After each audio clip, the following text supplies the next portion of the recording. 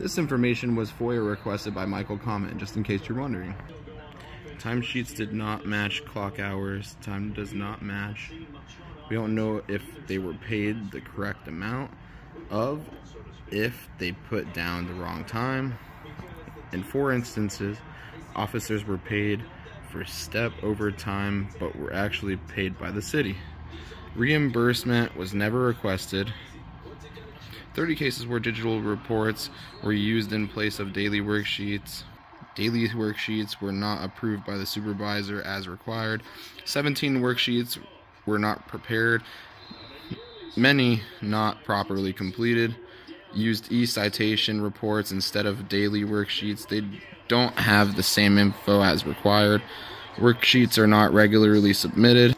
Employees were paid step grant when they were on vacations supplementation with normal pay, getting paid overtime, working step but did not actually work overtime hours, currently being looked at by the auditors, potential to lose this and other federal grants.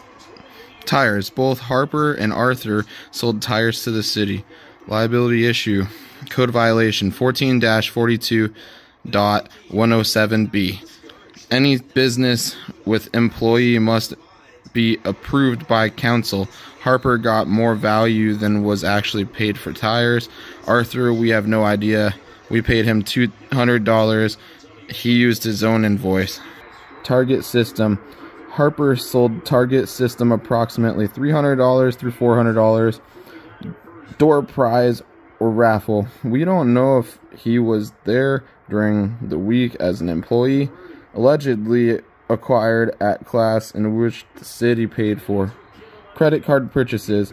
Reimbursements to Harper and Arthur for personal purchases on the city credit cards. 2016, $289 to both. 2017, $298 to both. And 2018, $64.